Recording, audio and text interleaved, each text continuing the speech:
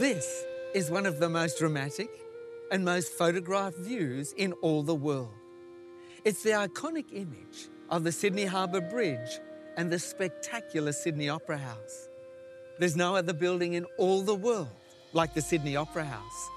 It's one of the great buildings of the 20th century. It's an architectural masterpiece with its unique, gleaming white roof of interlocking, vaulted sail shaped shells. It's Australia's best known landmark. But it's not well known that the land where the Opera House sits is known as Bennelong Point. It's named after a man of the Eora tribe, an Aboriginal Koori people, the original inhabitants of this country. Bennelong was a local Aborigine who served as a liaison between Australia's first British settlers and the local population. He was the first Aboriginal man to visit Europe and return. Bennelong lived in a small building on this site that now carries his name. Then, in the early 1800s, the New South Wales Governor Lachlan Macquarie instructed that a large, impressive stone fort be built on the site to protect the new colony. By 1902, the stone fort was replaced by a tram depot and then a bus terminus, and finally, the Opera House. Beside the Opera House, you can still see the heritage listed jetty built in 1810 called the Man o' War Steps. For 150 years, the Man o' War Steps were the landing and embarkation point for men of the British and Australian fleets. Right by the steps are the beautiful Sydney Harbour Botanical Gardens that wrap around the small inlet called Farm Cove. It was here that the early settlers planted the first crops to feed the struggling new colony. On the other side of the Opera House is Sydney Cove, the heart of the city. Today it's better known as Circular Quay, a tourist precinct, a transport hub for the harbour ferries, hydrofoils and river cats, and the historic Rocks Heritage Area. But now, let's step back in history about 250 years. In late 18th century Britain, the Industrial Revolution caused widespread economic displacement. As new machines were invented, people were no longer needed to do farm jobs. So people flocked to the cities looking for work. The cities became overcrowded. The unemployment and poverty in the overcrowded cities saw the crime rate rise dramatically. Desperate people turned to petty crime just to survive. Soon, Britain was struggling to accommodate its prisoners as the jails became increasingly overcrowded. Then, under English law, criminals were transported to penal colonies.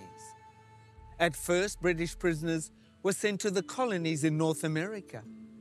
But in 1783, when the American War of Independence ended, the newly formed United States refused to accept any further shipments of British convicts. As a result, prisons in Britain were soon overflowing again. The situation became dire and an alternative was needed. So the British government decided that the vast southern continent, claimed for Britain by the explorer Captain James Cook in 1770, would be an ideal location for a new penal colony. It seemed a great idea to transport your prisoners to the other end of the world. The first fleet of 11 ships carrying more than 750 prisoners, or convicts as they were called, departed Portsmouth, England on the 13th of May 1787. After a voyage lasting 252 days and covering 20,000 kilometres, they arrived in this cove on the 26th of January 1788. It was the beginning of an era of transporting British prisoners to Australia. Between 1788 and 1868, in just 80 years. About 165,000 convicts were transported from Britain and Ireland to various places in Australia. The newly arrived convicts faced many challenges. They were isolated from their family and friends. They were transported to a distant and alien land. They arrived despised and disadvantaged. Their lives were filled with adversity and toil. Yet, in spite of their hardships and handicaps, many rose above the challenges, worked hard, gained their freedom eventually, and not only succeeded in proving themselves to be upright and reliable citizens of their new land, but also contributed enormously to its development. Some of their stories are surprising and truly inspiring, especially those that are representative of all who transformed, survived, and thrived in their adopted country. But perhaps what's even more surprising is the common link that united and influenced them all. Join me on a journey through the annals of early European Australia.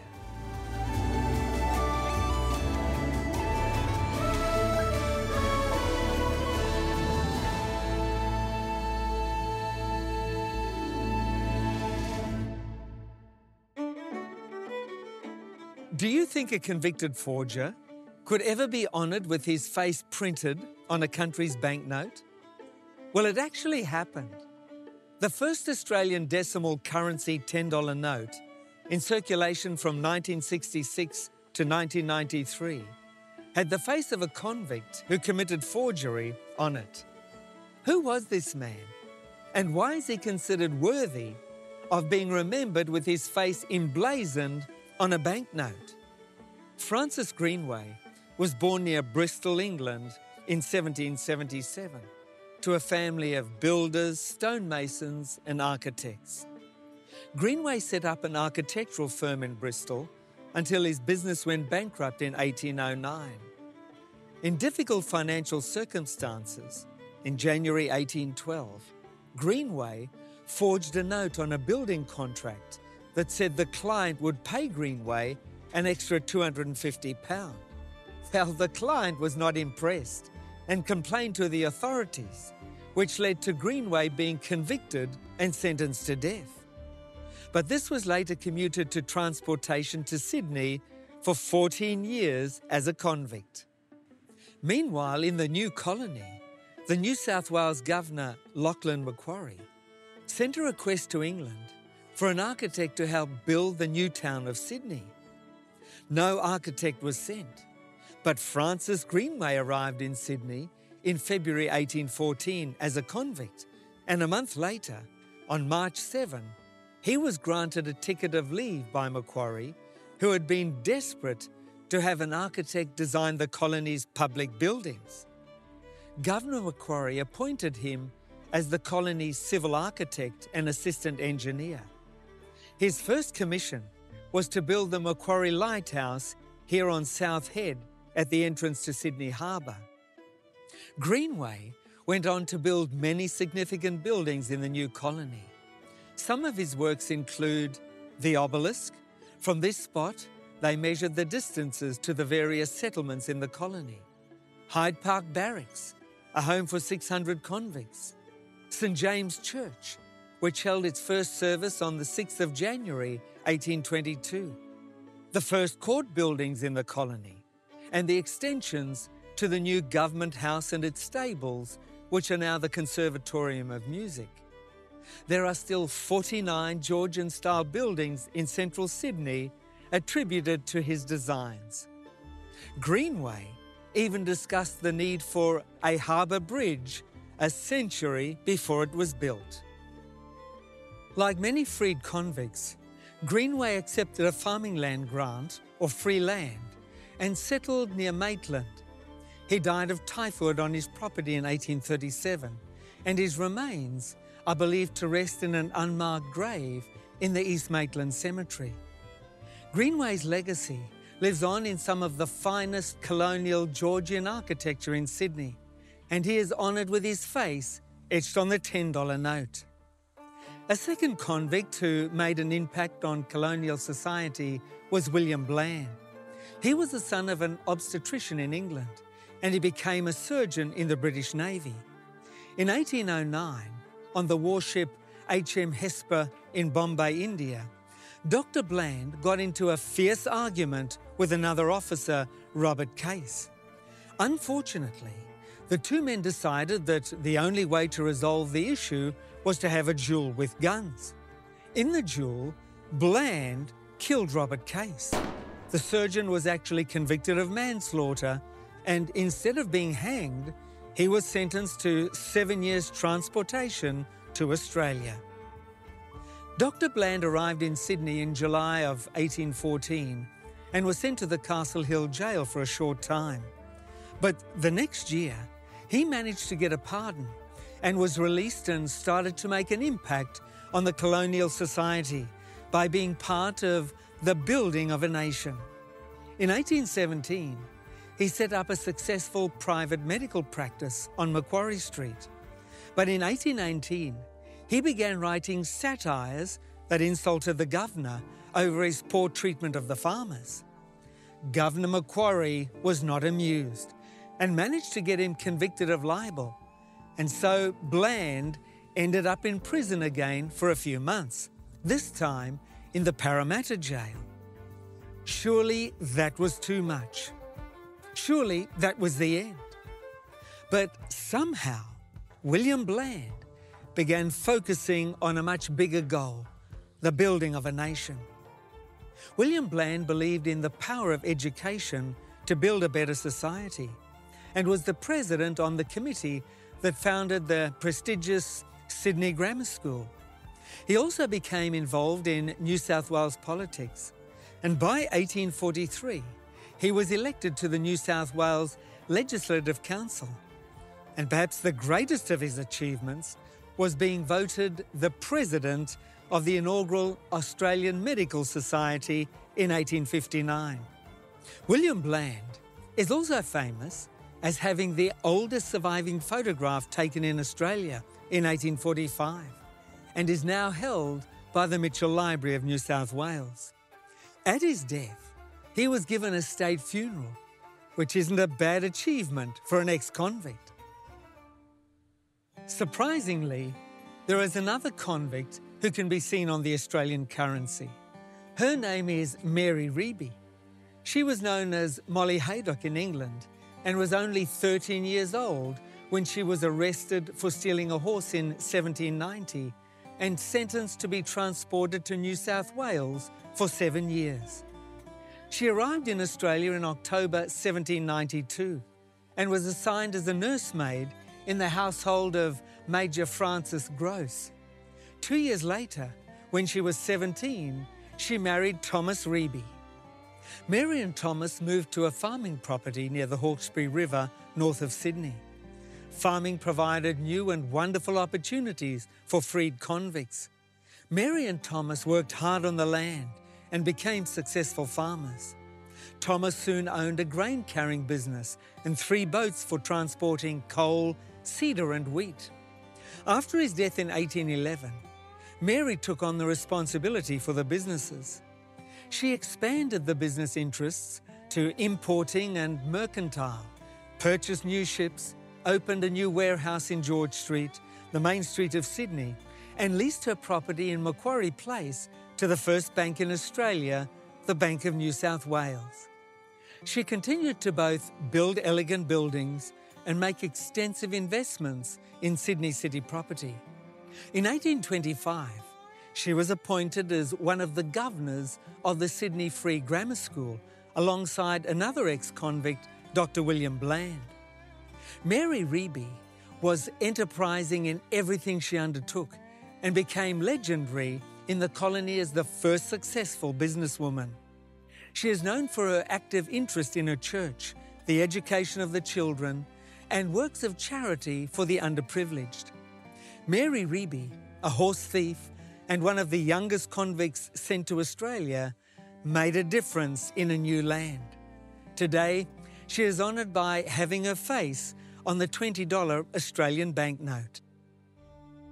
Our next convict lends his name to the highest ranking high school on academic results of all Australian schools, James Ruse Agricultural High School. For the past 30 years, this school, based in Carlingford, Sydney, has performed better in the final year exams than all other high schools and private schools in New South Wales. But how did it start? Well, surprisingly, it began as an agricultural or farming school and took its name from a convict who arrived in Australia on the First Fleet in 1788. James Ruse was born in Launceston, Cornwall in 1760 and worked as a farmhand for most of his childhood. In 1782, at the age of 23, he was tried and sentenced to death for breaking and entering the house of Thomas Olive at night and stealing two silver watches. Luckily, James avoided the death penalty and instead was sentenced to transportation for seven years and placed aboard the first ships to bring convicts to Australia. When it was decided to establish a penal colony in New South Wales, he was sent out with the First Fleet in 1787 on the ship called the Scarborough. James Ruse claimed to be the first Englishman to set foot on the shores of Botany Bay in 1788 when he carried the ship's captain John Hunter ashore. In July 1789, Ruse applied for a land grant that would allow him to take up farming. Governor Phillip did not give him a land grant, but permitted him to occupy an allotment at Rose Hill near Parramatta called Experiment Farm. The title to that grant was withheld until Ruse showed his capacity as a farmer and his right to freedom had been proved. In his first year after being released, James produced the first successful wheat harvest in New South Wales and proved that it was possible for freed convicts to become self sufficient farmers and landowners. James Ruse married Elizabeth Perry, a fellow convict at Parramatta in 1790, and they successfully farmed their land. A plaque at Experiment Farm commemorates this first independent farm. In February 1791, Ruse received 30 acres in land grant number one, and by the end of the year, Ruse, his wife, and child no longer needed food from the government store. James Ruse died on the 5th of September 1837. During his last months, he occupied himself with the rather sad task of carving his story on his own tombstone. He is buried in the cemetery of St John's Church, Campbelltown. So, what was this convict's legacy? Well, James Ruse was the first full time farmer in the new colony and established successful methods of farming in a new land. In addition, the eminently successful James Ruse Agricultural High School bears his name, keeps traditional farming skills alive in a metropolis, and is a testament to his hard work, dedication, and commitment. These convicts who sail to an unknown land have remarkable stories of courage and transformation as they worked the land, created a new life, and help to build a new nation. Doesn't that make you wonder?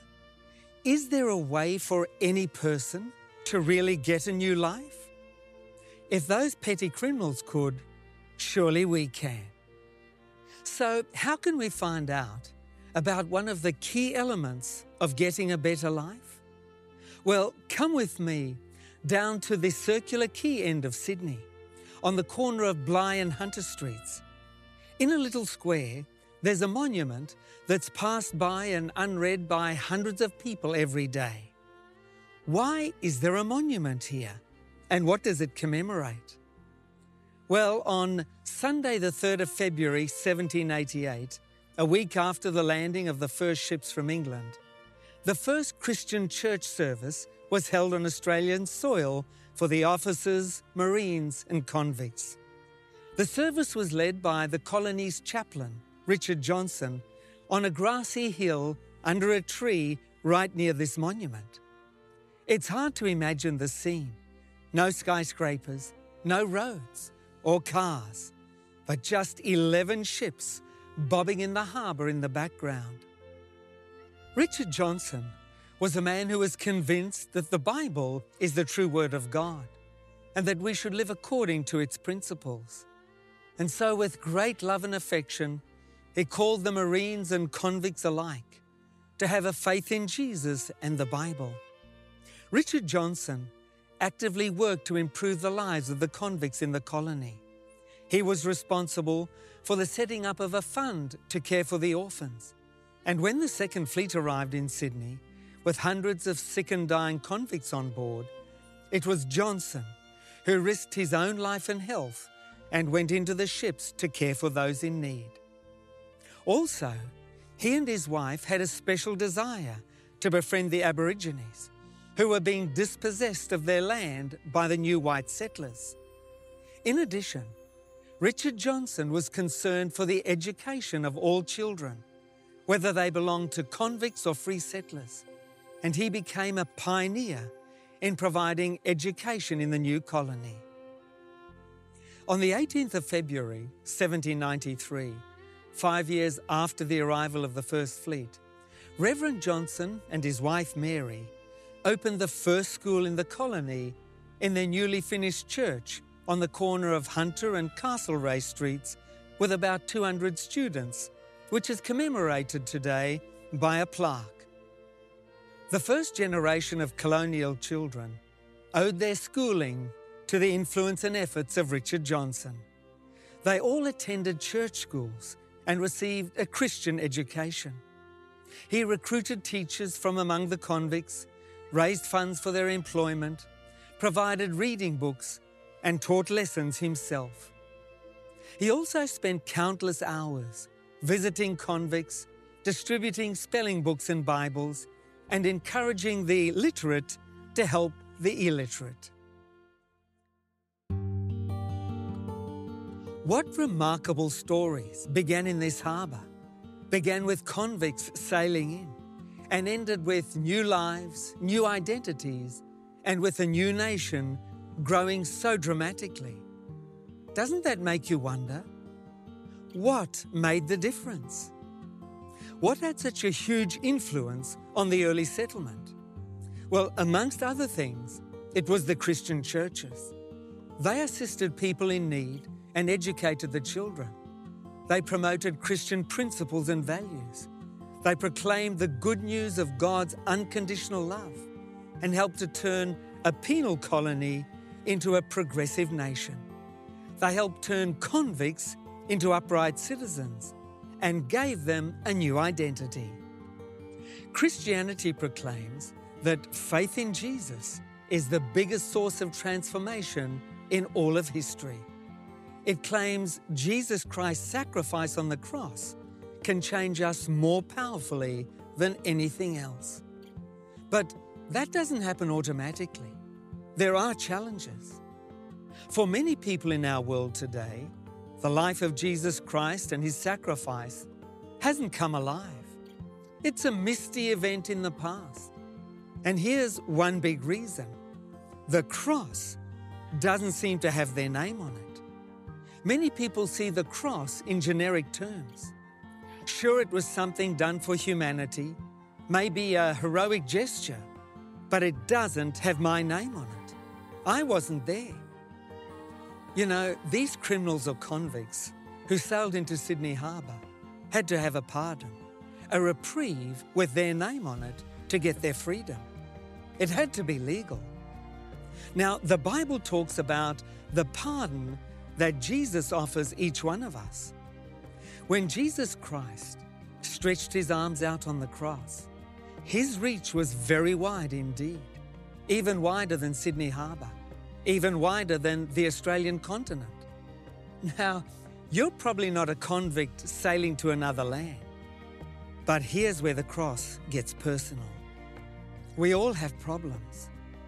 The cross is about your problems your weaknesses, your addictions, your challenges, and your feelings of low self worth. How could Jesus transform us? How do we get a new identity? Well, the cross of Christ is about your new identity. The cross has your name on it. It speaks to you personally.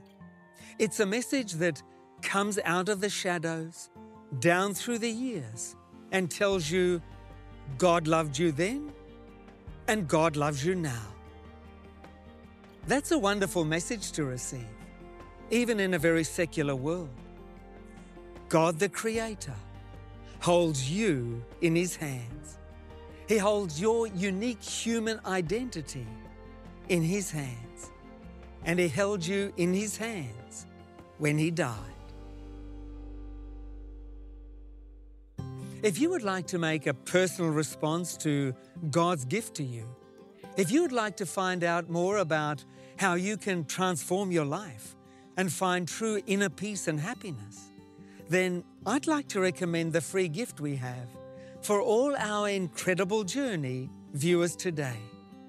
It's the booklet, Does God Really Make a Difference? This booklet is our gift to you and is absolutely free. I guarantee there are no costs or obligations whatsoever. So make the most of this wonderful opportunity to receive the gift we have for you today. Phone or text 0436 333 555 in Australia or 020 422 2042 in New Zealand. Or visit our website tij.tv or simply scan the QR code on your screen and we'll send you today's free offer totally free of charge and with no obligation. Write to us at GPO Box 274, Sydney, New South Wales 2001, Australia, or PO Box 76673, Manukau, Auckland 2241, New Zealand. Don't delay, call or text us now. Be sure to join us again next week when we will share another of life's journeys together. Until then, let's pray and ask for God's blessing and guidance in our lives. Dear Heavenly Father, thank you for the gift of Jesus and for your promise of a new identity, a new life when we believe and trust in you. We need to be redeemed, free from our past problems and challenges. We pray for forgiveness and peace and the assurance of a new identity in Jesus. And we ask this in Jesus' name. Amen.